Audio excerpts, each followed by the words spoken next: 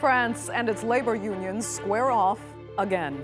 Another round of industrial action cripples parts of the public sector after weeks of strikes take refineries and fuel stations offline. Is the action justified or does it put crucial energy production and the economy at risk? I'm Andrea Sanke, and today's newsmaker is France on strike.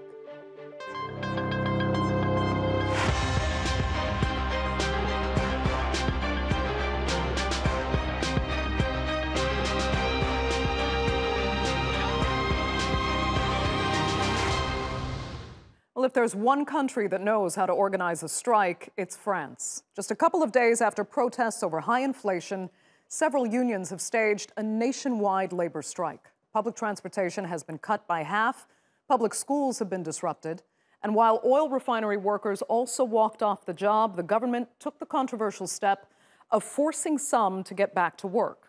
That only seems to have made the public angrier.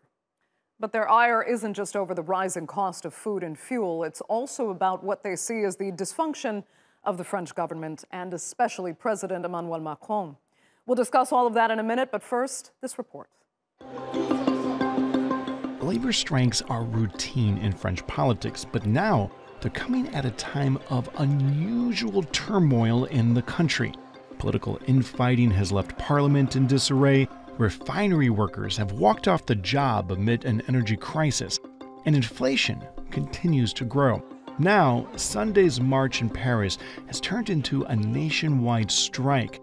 The leader of France's Unbowed Party called it the Great Convergence. We are at a time when all the components of the French people, the employees, those who are not, whether they are unemployed or studying, must unite and form this sort of thing that I call the popular front. Let's say, in fact, against the government which does not back down, nor stops at almost nothing.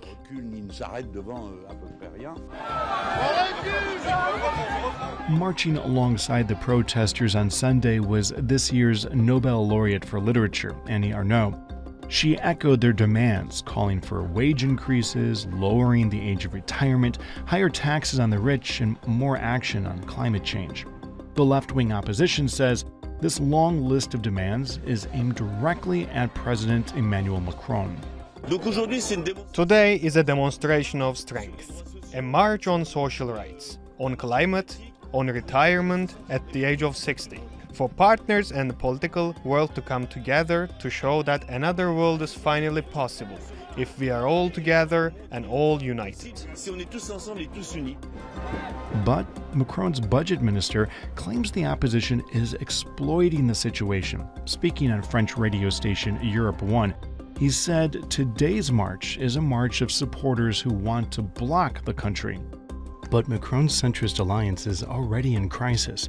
It lost its parliamentary majority after June's elections. Macron also angered taxi unions after leaked documents showed that he lobbied in favor of the third party driving app Uber. And critics say his $20 billion relief package has not been enough to fight inflation. I'm here today because I'm angry. I'm angry because everything is going wrong. Public services, mistreatment at work, and the super profits that are not taxed. We have a lot of reasons to be here today. And the government that doesn't listen to us, that continues to favor the same people, and that asks us for efforts from the same people. At some point, this has to stop. To compound Macron's misery are the oil refinery strikes. While energy prices continue to rise, oil companies are making record profits. And while some unions have reached an agreement with oil executives, the hardliner General Confederation of Labor hasn't budged.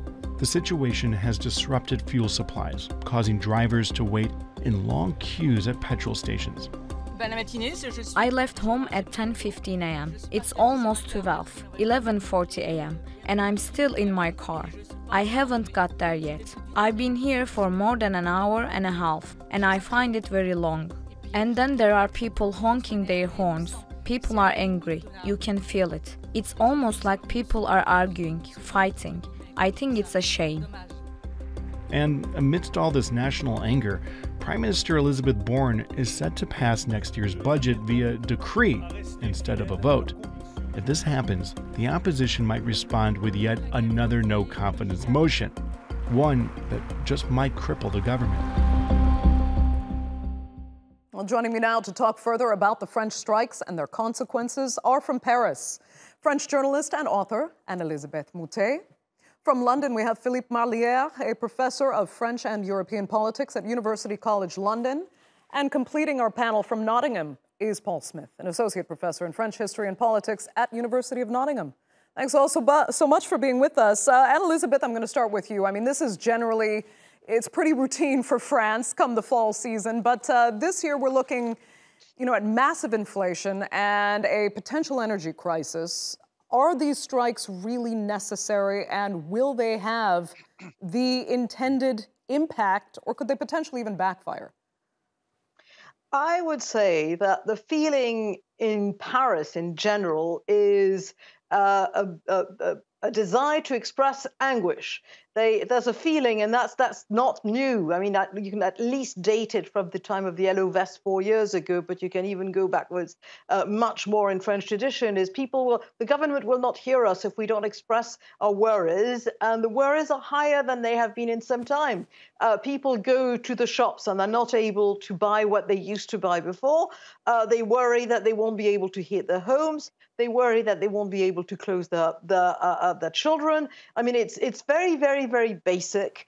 Uh, and and there's an economic anguish, there's political anguish because of the war in Ukraine. It's a kind of perfect storm. So okay. when uh, Nupes and Jean-Luc Mélenchon called for uh, this march on on uh, Sunday, two days ago, and the the day of strike today, uh, they were heard also because uh, there was a feeling that uh, the whole country was in, in, in this kind of uh, insecurity. Okay. So, Philippe Marlière, do you think there will be, I mean, obviously there are going to be, as always, some a level of economic consequence for, you know, kind of crippling business for whatever amount of time uh, this takes. But what about the political consequences?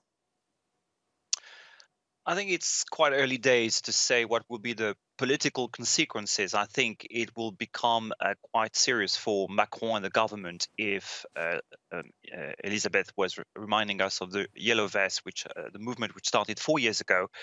Uh, at the beginning of it, uh, it was so massive, so sudden that the government had really to stand back and, and, and listen and, and take some initiative. So I think it will all depend on that, the how those marches and strikes impact on the economy in general. I see that there are it's an interprofessional uh, strike today, so there are s- several sectors which are affected by it, not simply transport or people working in refineries, but also uh, teachers, uh, pupils, students on strike, mm.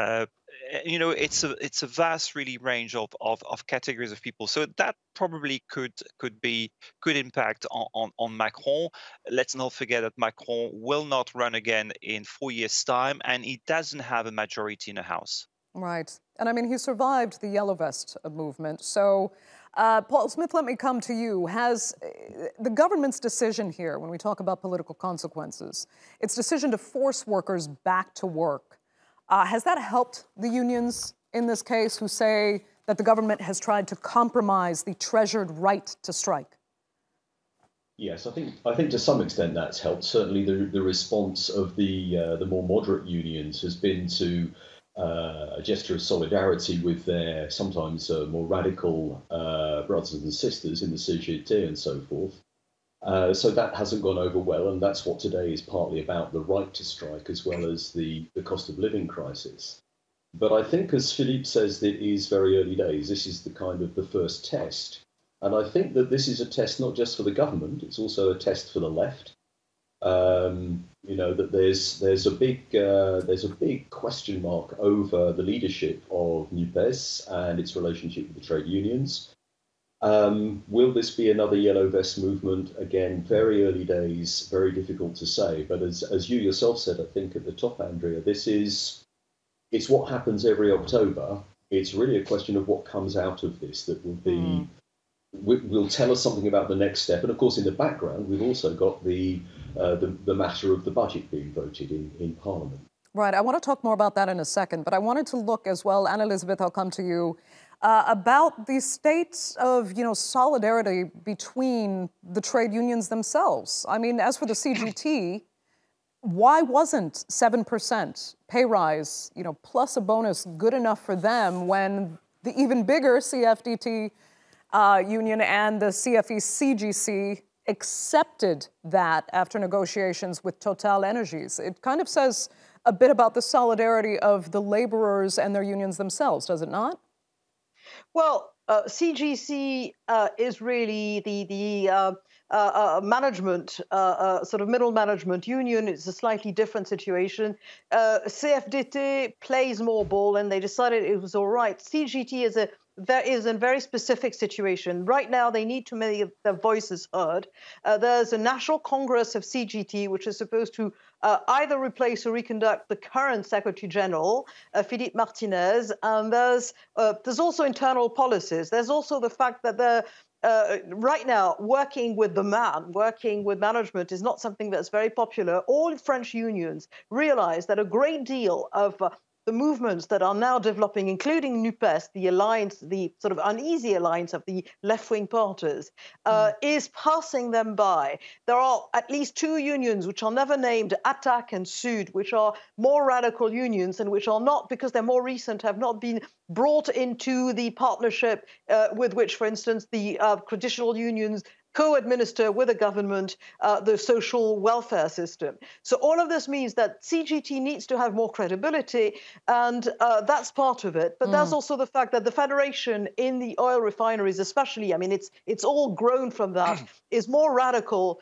than the Secretary General. So there was also a question of catching up. It's it's complicated. Yeah, it is complicated because I mean, some suspect with the CGT, you know, losing membership over the years, you know, maybe they're making an attempt here to increase their profile as, you know, kind of a, a flagging union by digging in their heels against even other unions. That's at least one suspicion. But Philippe, I want to come to you about why protesters are on the streets uh, at, at this point in time because as Anne Elisabeth had said, she thinks it's generally about anguish.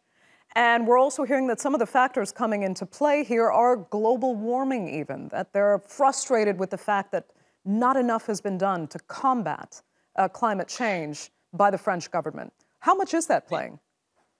There are different things at play, you're right. I think the first of all, it's also in solidarity with the uh, people working in the refineries who have been obliged by the government to go back to work. So there's a sort of an element of solidarity. But I think essentially it's about wages.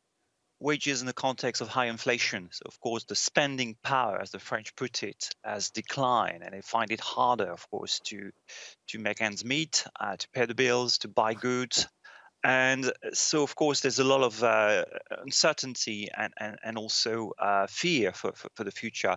Uh, yes climate is also an issue. It was more of an issue to be fair on sunday when uh, which was could be labeled a kind of a march of the left. All the left wing parties which are part of the NUPES the NUPES mm. Uh, also aggregated that uh, issue, which in a sense makes makes sense. You know, it's a very extremely important issue, and I think uh, it's part of the left to really uh, bring it forward. But I think essentially today it's a more traditional. It's the day of the unions and salaried workers, and mm. they're there essentially, I think, uh, for wages, better wages. And I think it's a very complex situation for the government because which is well aware that wages are lagging behind. There are profits to be made by by firms who are doing okay, but people on the ground, workers, are struggling. So you can hear the government making recommendation to uh, firms and bosses. You know, you should, when you can, increase the wages, but of course, mm. it's it falls largely on deaf ears. Right. I mean, adding to the complexity for the government right now, Paul Smith is, uh, you know, Macron's government planning to force through its its 2023 budget, as you mentioned, without a parliamentary vote. I mean, what do you think that's going to cost Macron politically? Or, I don't know, might he be rewarded for it when, you know, his supporters see him taking a hard line and pushing through what he promised to do? Yeah, I think I think you've uh, you've very much hit the nail on the head there. That it's a question of the big question is what's the mood of the country, uh, and this is why this is a test for actually pretty much all the players, government, unions, the left. Uh, that that what is it that the, the, the French public will actually wear? Uh, the use of 49.3, the idea of the, the vote without a debate, the, the, the block vote mechanism, which is there if governments need it. That's why de Gaulle and Debré put it there in the first place. That's the mechanism that they can use. It will it will also, of course, force the, the opposition to vote one way or the other, and we might see you know, a motion of no confidence and all that going down. Um, but I think that it's this is really a whole there are a whole a whole lot of different factors playing as as uh, as everybody else has said, but also that this is really where we find out what the French people are thinking. Uh, and I'm not absolutely sure. I mean, those of us, I think all of us, can probably remember 1995 and when the strike movement broke out in 1995. And what really shocked the government, Jacques Chirac and Alain Juppé, was that actually the public generally supported the movement. And that was the real kind of wow moment. But it's the, the big question is is the mood in the country the same now as it was in December 95? Everybody is suffering from the cost of living crisis. I don't, you know, everybody is aware of that. Everybody's feeling it. But is the public mood one of, you know, getting behind it even at arm's length? Or is this, you know, is it going to fall flat on its face? And that's why it's a challenge right across the piece. Yeah. You know, it's a. Yeah. Go ahead. Uh, it just may I add something? I, I totally agree with my what my colleague just said, but I think the I think it's a big test, and the test is popularity, as he as he said, and I agree. And look at the ongoing movement in uh, uh, of strike in refineries, you know, and I mm. think this movement. I've been following the figures, the the opinion polls. That movement remains I wouldn't say popular, that would be uh, too big a word, but it's not deeply unpopular. And that's quite surprising because you, you could argue, you know, people uh, not being able to f- uh, fill the tank and use their car because now there's been a really real shortage of, of petrol mm. across France. And, and, and when you can get some, uh, you need to queue for a very long time. So that's, that's, not, that's not nice. However, uh, people seem to be uh, taking it, you know, uh, with uh, some some patience, and that reminds me. I agree with the parallel with 1995. 1995 strikes in the public sector with mass support from people who were, were not uh, public service workers. So it was a, a mm. kind of a support from outside, if you like, of the strike. And, and that's why I think it, it led to uh, sort of a, uh, big, big, instability for, for the government, and, and, and later Chirac had to dissolve the, the National Assembly and mm. call for early elections.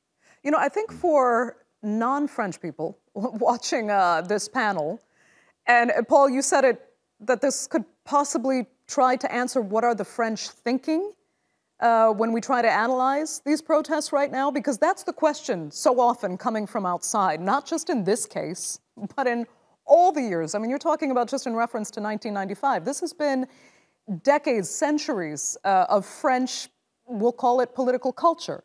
Um, so, Anne Elisabeth Moutet, I mean, how how much are what are expectations really? Let's put it that way. What are expectations actually for the strikers when we know this is just part of, of an ongoing routine, it seems, at least from the outside? Is real change ever really expected? It really, it really depends on which strikers, because as uh, we've listed them earlier, you've got you've got the the, the refineries people, you've got uh, doctors, you've got nurses, you've got teachers, and each of them have got specific grievances, and some of these grievances are uh, have come to breaking point. And I would say that actually the oil industry uh, strikers will eventually get a deal. They will get a bit more money. The CGT will say we've won, and the CGT once it's uh, once they've elected the new secretary general what they want is to sort of basically flex the muscle and then go on uh, and, and look forward to, to the future. It's very different for teachers, um, for instance, or nurses, that they are a very good example of people whose uh, actual income has gone down thanks to inflation mm. and to uh, um, um, cuts made by consultants trying to make uh, uh, the health system or the school system more efficient. It has just uh, they are less considered. They're less well paid. If you take a, a, um, a, a, star, a, starting salary for a teacher in France, it used to be an equivalent to twice the minimum wage, and now it's 1.25 the minimum wage. We're talking a, real loss of purchasing power. As Philippe was saying, and also the feeling that increasingly uh, teachers, nurses, all the people who are in contact with the public are being made to manage a social situation that is more fraught in France, and they are in effect uh, uh, social workers and not called social workers in situations that are more difficult. So mm. that is something that is not going to end with one day strike. That is something that could potentially explode uh, uh in other ways in the in the weeks and months to come. Okay, but I, that, that's what still baffles me. I mean, if they know that this could potentially explode, why don't they take this kind of preemptive action? Why don't they foresee the problems before it comes to massive strikes on the street? I mean, Paul, wait, Go uh. Wait, I mean, this government, the specifically this government, Emmanuel Macron, is a government that seems to have been winging it. They announce great programs, great plans, great designs. It never happens, and it is the the state of in preparation is something that now most and more and more observers are saying, look, you know, you can't go on and say you have a plan, nothing is organized for the plan. Uh, McKinsey uh, sweeps in and essentially cuts costs. Uh, it, there is no uh, there's no ideological drive in this. It's neither left nor right. I mean, it is, and it's both at the same time. You know that when Macron was first elected, coming seemingly out of the blue in uh, 2017, his great sort of expression was en même temps, at the same time. We can be both thing, all things to all men, and we can do left and right at the same time. And it turns out that not only uh, is this more difficult than expected, but also that the government seems to be essentially sort of feeling the wind in the morning and doing and sort of giving out money or giving out or refusing money in a completely non-prepared way. Mm. There were almost a hundred uh, um, uh, billion uh, uh, uh, euros that were spent in various uh, bonuses, aids, benefits, etc., after the Yellow Vest movement. And do you see any result apart from that? None of it was structured to go with a specific policy looking forward. Okay. So that's the real problem. Uh, we're down to our last few minutes. Paul, let me put this to you. I mean, just looking forward, would there ever be a way to, in a sense, change French culture and this kind of, I'll call it antagonism, that actually fuels this seemingly endless cycle of crippling strikes? No, I don't think so. I mean, um, that, that's that, that's what you do, isn't it? You go on holiday in August, you come back in September, put in a bit of work, and then in October you you go on strike. And then there's this is, but you know, this isn't only happening in France. Why? Well, no, it's it, it, it hinders everyone's life. I mean, I've been talking to my friends in Paris. They can't. Well, it's make, the same. Yeah. But it's the same in, in in the UK at the moment. We've got railway strikes. We've got. It doesn't happen strikes, quite as often in the UK, though. No, that's true, but but that's because this is this is you know a cultural construct. The French will go on strike, whereas the British don't go on strike. But actually, we do. But of course, everybody's looking at Liz Truss at the moment, so we're not worrying about the uh, the strikes. Mm. What is interesting, actually, I mean, I think I absolutely agree with Anne Elisabeth when she says uh, when she talks about the government winging it that that we've seen this, and this is kind of the this is kind of the play out from the election back in April that that there was no campaign, very little program. It took forever to get a prime minister, and now we're coming to, you know, four months later when they could have actually put something together. They're really just improvising.